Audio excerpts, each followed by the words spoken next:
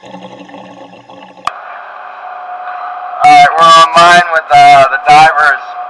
Um, we're here in a 1 million gallon elevated reservoir. It's a, pedestal, and we're in a, doing a cleaning operation and uh, running into quite a bit of sediment, as you can see.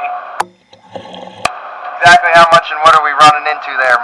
Uh, it's about 16 inches uh, laying on bottom here. Uh, it's definitely uh, iron and silt. Uh, pretty much why I don't drink tap water over. Roger. Uh, this is a cathodic protection uh, anchor point on the floor here keeps the interior of the reservoir from uh, corroding.